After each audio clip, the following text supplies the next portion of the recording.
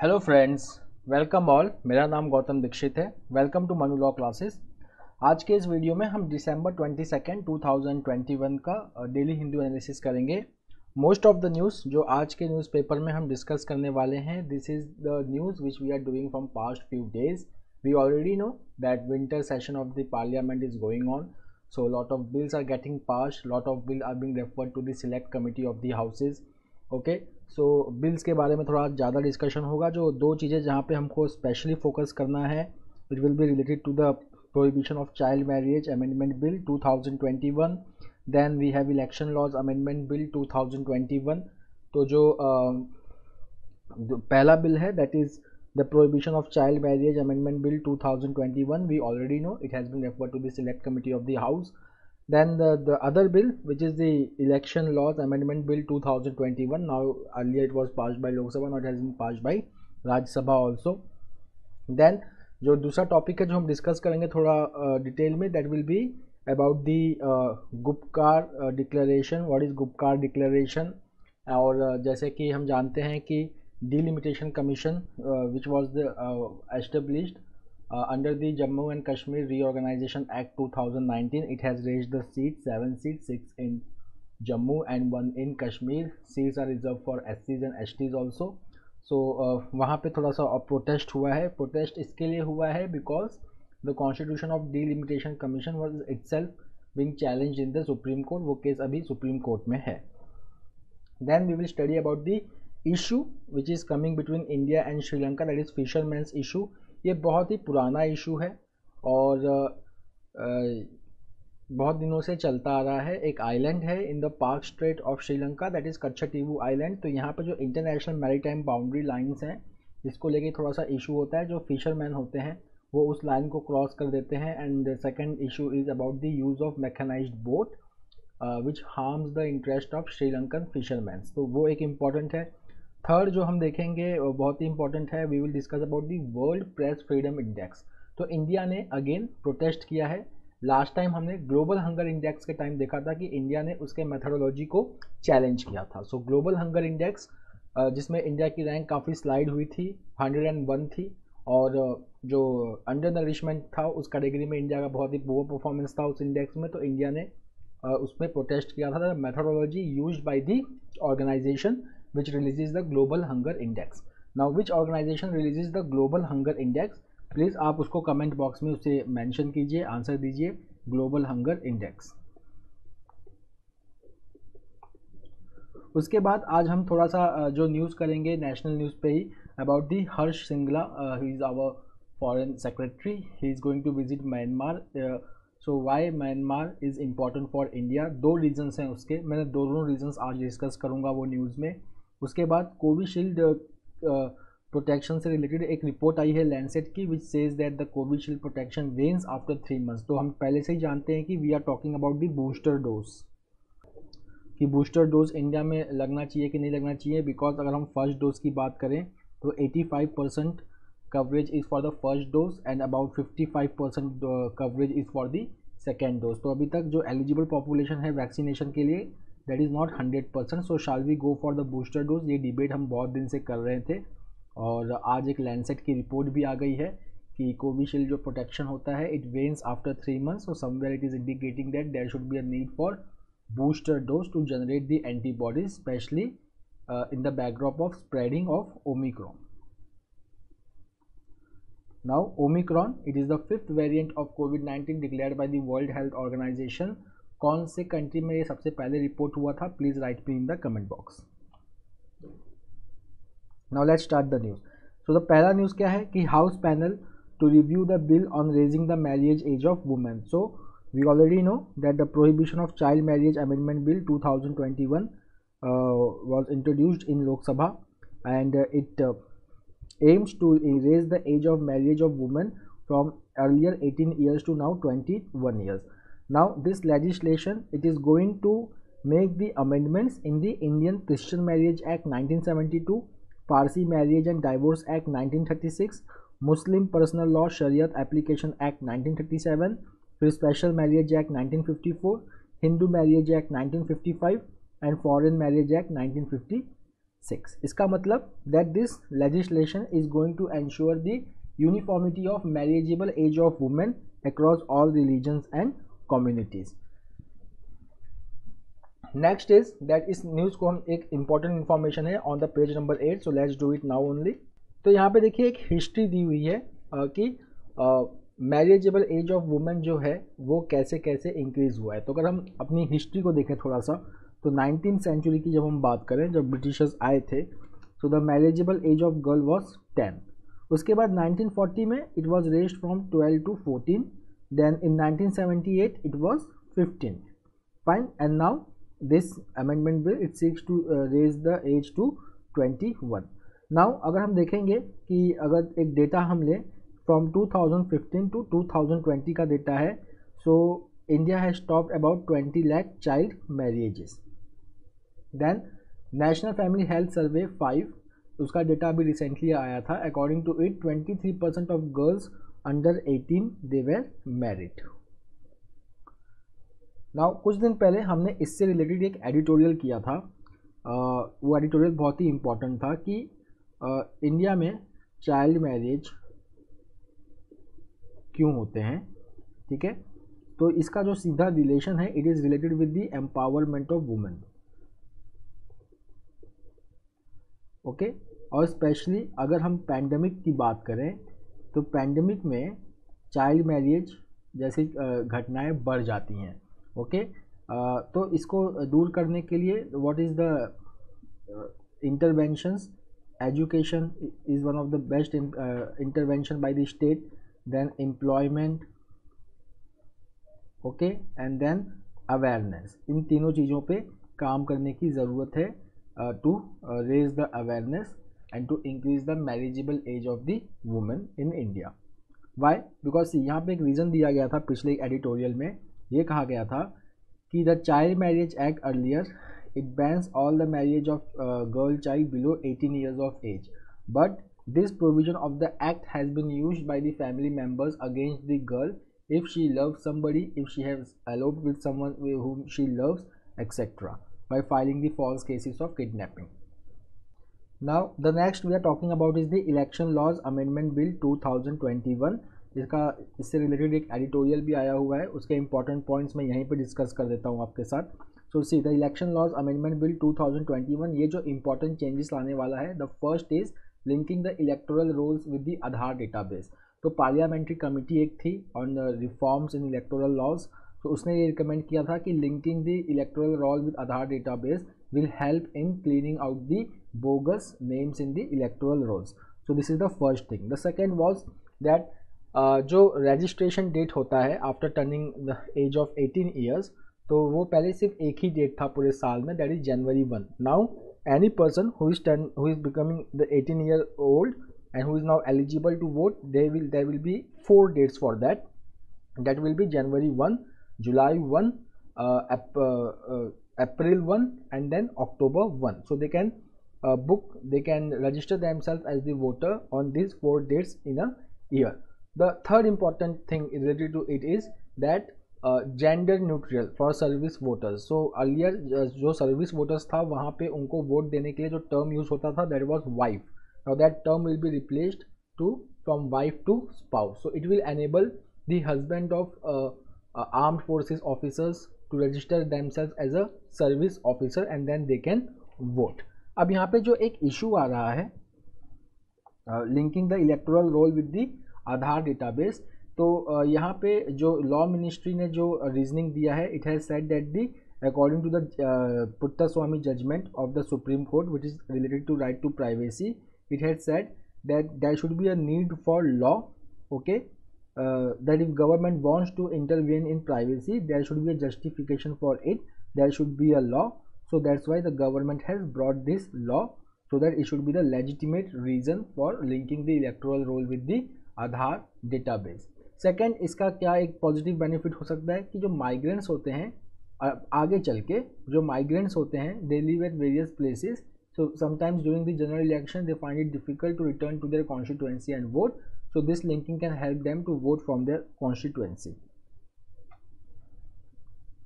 The next issue is about the indian fishermen. तो यहाँ पे एक जो टर्म है that is called as international maritime boundary line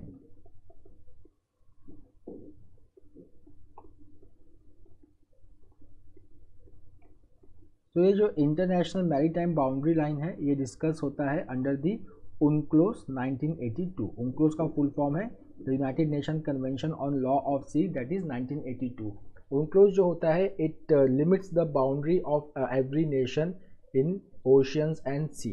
तो इसमें तीन जोन्स होते हैं first is the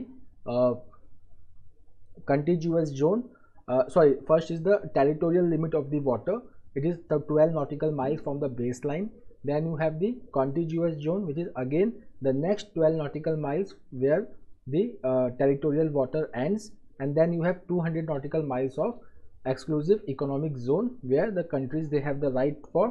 carrying out the economic activities in the sea like uh, fishing exploration etc यहाँ पे अगर हम देखेंगे कि इंडिया और श्रीलंका के बीच में जो डिफरेंस है पार्क स्ट्रेट में it is about 12 nautical miles okay तो यहाँ पे क्या हुआ है कि एक डिमार्केशन लाइन यहाँ पे एग्रीड हुआ है दोनों कंट्री के बीच में अब यहाँ पे जो इशू है दैट इज़ रिलेटेड टू कच्चा टीबू आइलैंड अब Kachcha island which is in the Palk strait ये आ, इसके आसपास जो फिशिंग होती है तो यहाँ पे जो इंडियन फिशरमैन होते हैं they use the mechanise boats and mechanise boats की वजह से जो उनकी फिशिंग की यील्ड है वो श्रीलंकन फिशरमैन से ज़्यादा होती है because they use normal boats for fishing so that's why and sometimes while fishing they cross the international line and then uh, they are arrested by the Sri Lankan Navy.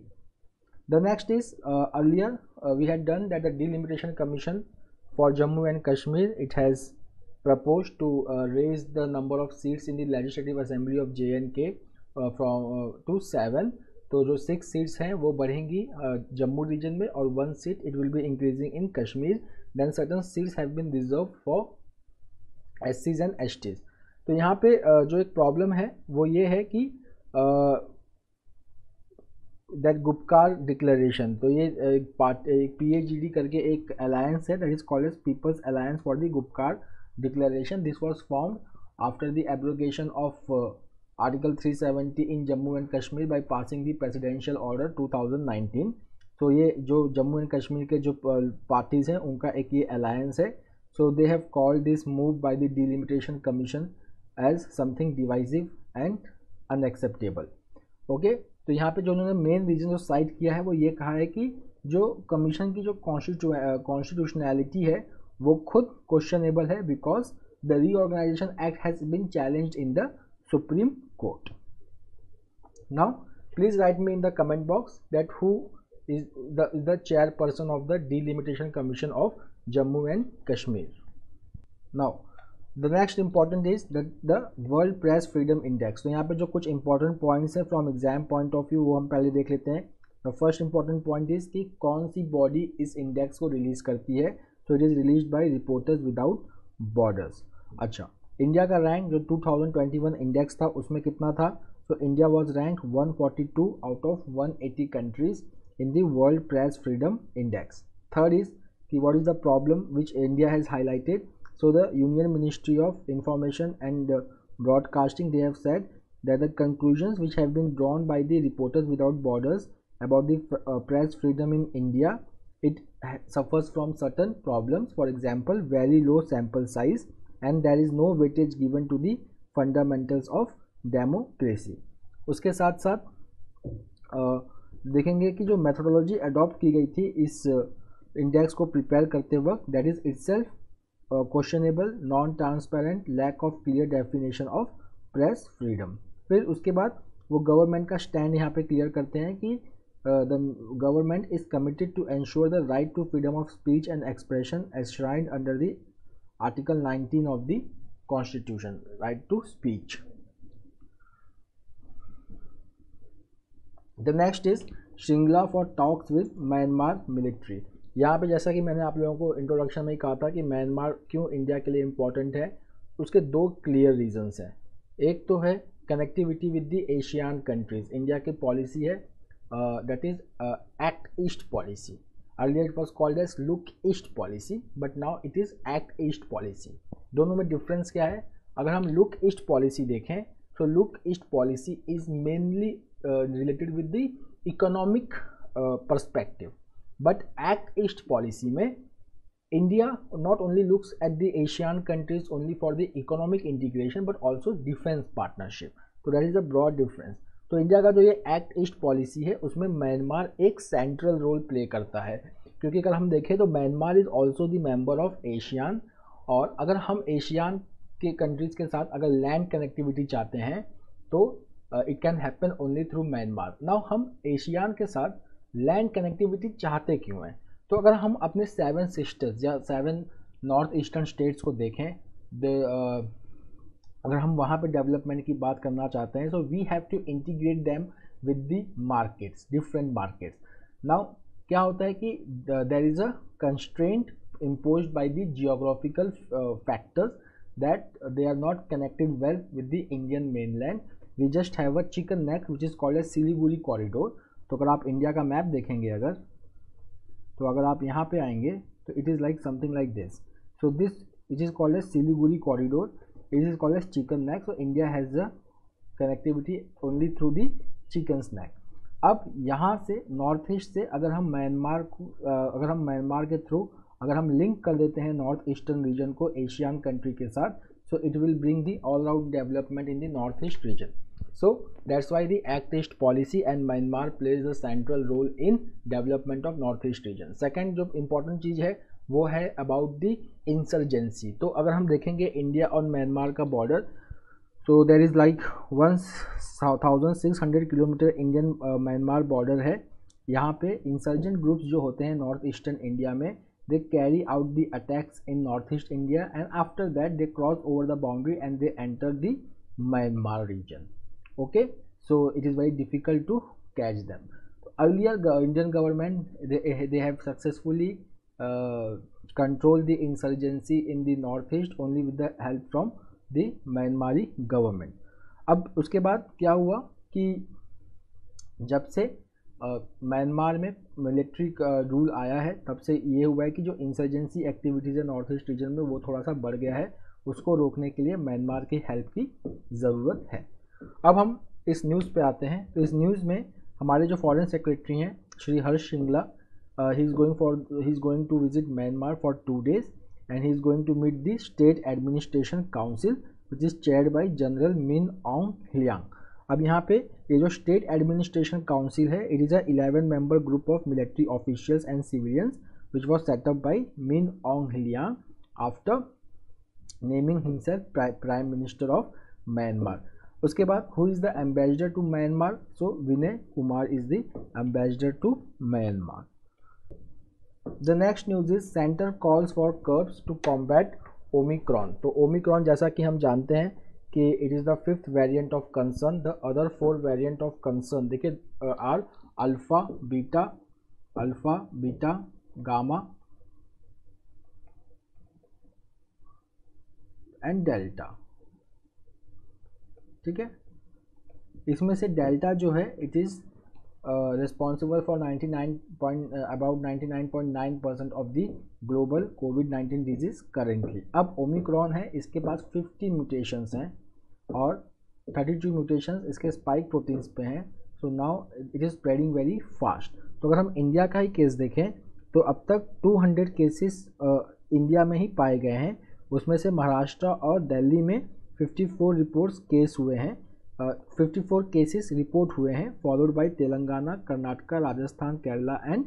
Gujarat. So under this thing the union health ministry it is has written to states to impose restriction such as night curfews और declaring the containment zone if the positivity rate is ten percent what is the positivity rate positivity rate मतलब कि total test में से कितने percent people को infected पाया गया है।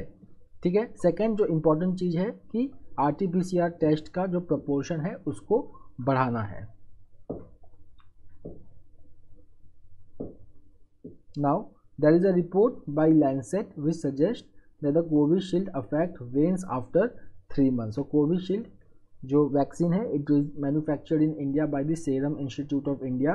and it is also called as Oxford AstraZeneca का कोविड नाइन्टीन वैक्सीन। तो इसका जो एक डेडलाइन है that is three month okay उसके बाद इसकी जो एंटीबॉडीज़ है, वो काफ़ी डिक्लाइन हो जाती है after taking the two doses ये जो स्टडी थी it was conducted in Brazil and Scotland पर उसके साथ साथ गवर्नमेंट ने जो पार्लियामेंट में कहा है, खासकर राज्यसभा में, कि ऐसा कोई अभी एविडेंस नहीं है जो ये सजेस्ट करे कि ये जो हमारे एग्जिस्टिंग वैक्सीन है जो हम इंडिया में यूज़ करते हैं Covishield and Covaxin they are not working against the Omicron variant of corona virus the next is what is Chillai Kalan Chillai Kalan Kashmir में वो 40 दिन होते हैं जब कश्मीर एकदम डीप फ्रीज में होता है, जब टेम्परेचर जो है वो minus four minus three degree Celsius जब होता है specially in Srinagar and Kashmir that harsh forty day winter spell is known as Chillai Kalam the next is China has slapped sanction on the United States government officials over Xinjiang अब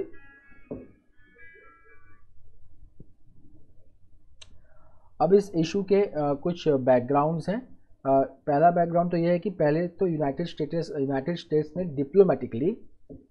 winter Olympics जो Beijing में held होने वाला है उसको boycott किया है। Then other countries also followed the U S so after that U S government commission on international religious freedom के ऊपर चाइना ने सैंक्शन लगाया। इसके पहले यूएस ने भी कुछ चाइना के ऑफिशियल्स के ऊपर सैंक्शन लगा दिया था। उसमें अगर आप देखेंगे तो शोहरात जकीर का नाम है who is the chairman of the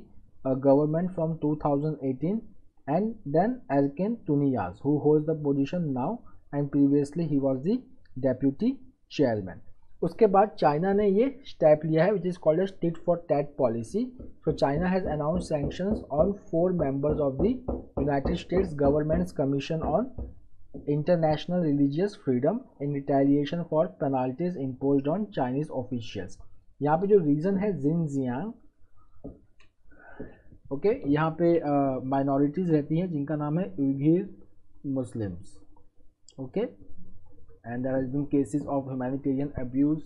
violations uh, humanitarian violations rights violations against this Uyghur Muslims now the next is कि अगर हम देखें कि यूएस में इस वक्त न्यू केसेस जो आ रहे हैं उसमें से 73 परसेंट जो न्यू केसेस हैं it is related to Omicron अब इसको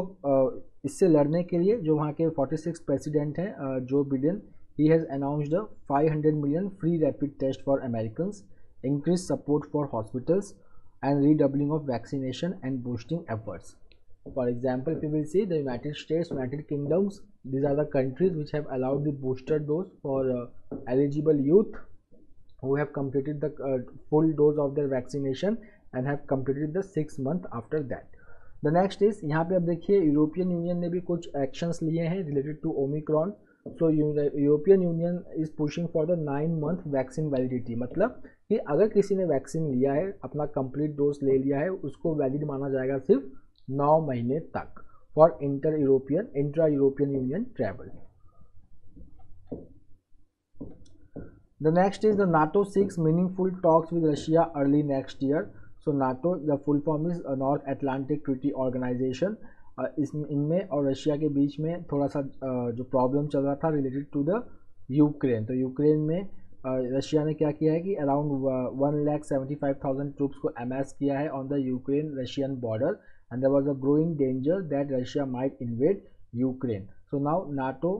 has seek a meaningful talks with Russia early next year मतलब कि यहाँ पे uh, जो uh, एक डिप्लोमेटिक पोजीशन लिया जाएगा to solve the issue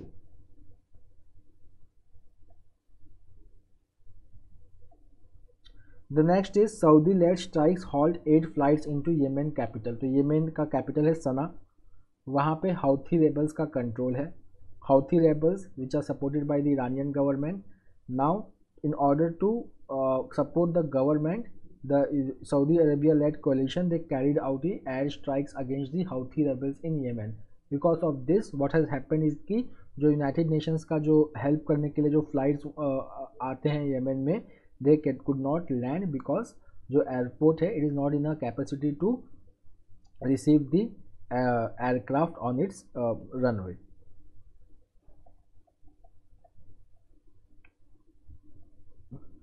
now Uh, the next from the news is the government cuts import duty on refined palm oil to 12.5 percent so जैसा कि हम जानते हैं कि CPI is above 4.5 WPI तो 12 परसेंट के ऊपर है by the uh, surge in the uh, cooking oils तो अब इसको कंट्रोल करने के लिए the government has reduced the basic custom duty from 17.5 percent to 12.5 percent friends we already know कि इंडिया जो है it is a net importer of palm oil ठीक है? अब इंटरनेशनल मार्केट में भी पाम ऑयल का दाम बढ़ गया। जो टू स्पेशल प्रोड्यूसर्स हैं पाम ऑयल का वेनेजुला और इंडोनेशिया तो वेनेजुला में क्या हुआ? The farm which were producing which were cultivating the palm oils they have been uh, diverted to other crops. And in Indonesia there were labor problems. The third important reason was recovery of global demand तो इसकी वजह से जो vegetable oil prices थे या cooking oil prices थे वो बढ़ गए। साथ साथ में हम इंपोर्ट करते हैं बहुत ज़्यादा तो ऑयल प्राइसेस इंडिया में भी काफ़ी ज़्यादा बढ़ गया है। तो इस प्रॉब्लम को सॉल्व करने के लिए अभी शॉर्ट टर्म में the government has reduce the basic custom duty from 17.5 percent to 12.5 percent उसके साथ साथ इंडिया ने एक नेशनल मिशन भी लॉन्च किया है। National mission on oil palm okay? To increase the cultivation of and production of palm oil in India now the labour code तो India में labour reforms they are very important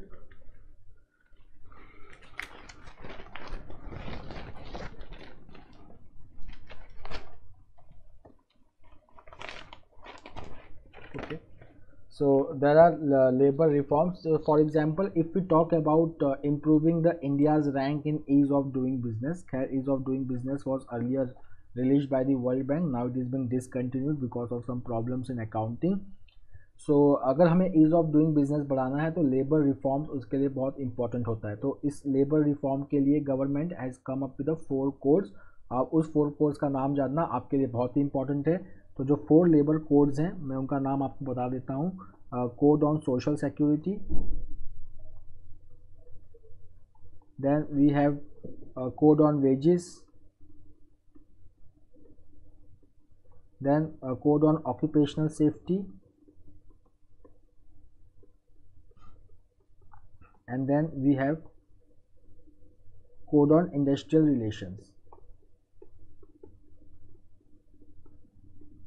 उसमें से जो code and on wages है ये 2019 का है and rest three they are of 2020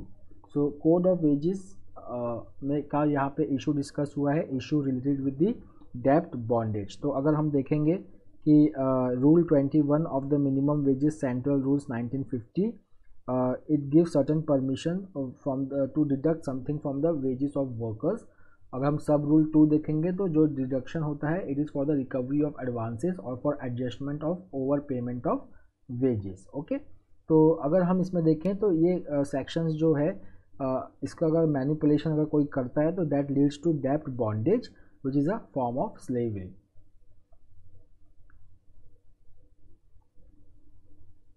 the next is about the Gabriel Boric's acid test तो गैब्रियल बोरिक जो चिली के प्रेसिडेंट इलेक्ट हुए हैं and as just thirty five years old तो इसमें इनकी एक हिस्ट्री दी है और साथ साथ में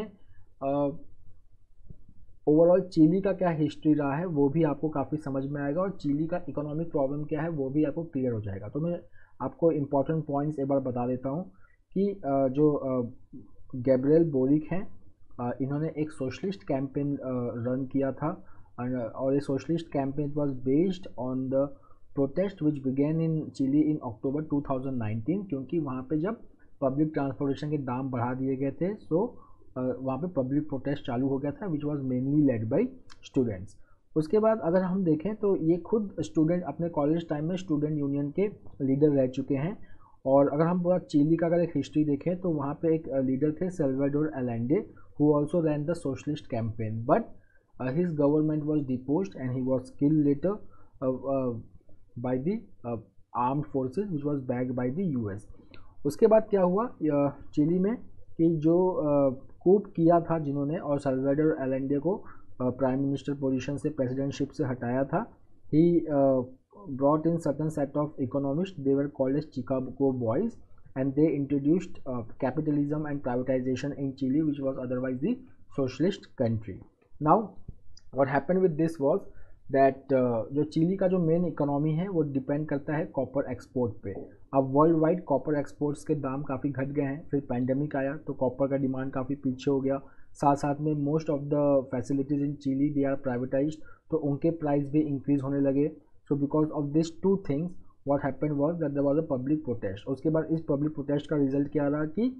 a socialist campaign run by Boric he launch him into the the presidentship अब बोरिक के सामने जो सबसे बड़ा जो चैलेंज होगा वो ये होगा to reduce the income inequality in the country okay and to address the structural problem of Chile then we will discuss about the union territory तो जब Jammu and Kashmir reorganisation act pass हुआ था so we already know that Ladakh was made the union territory and now currently there are eight union territories Jammu and Kashmir is the union territory with legislature Ladakh is the union territory without legislature तो यहाँ पे दो scenario compare किए गए हैं earlier when Jammu and Ladakh was the part of Jammu and Kashmir so it it enjoyed three tier participation so it was a three tier administrative system. One was autonomous hill development councils. It was at two places, leh and kargil. उसके साथ साथ लद्दाख में, लद्दाख का representation जो था वो Jammu and Kashmir के legislative council में भी था और लेजिस्लेटिव असेंबली में भी था। बट नाउ अगर हम देखेंगे तो because of the change in the status from state to the union territory all this things are gone and now अगर हम हिल काउंसिल्स की भी बात करें, जो पहले रिक्रूटमेंट ड्राइव भी करते थे but now because of the presence of L G so the recruitment drive is not been taken by the hill councils और district hill councils okay So that's all for today. Uh, we will meet tomorrow again with a daily Hindu analysis. Till then, take care. Have a nice day. Thank you.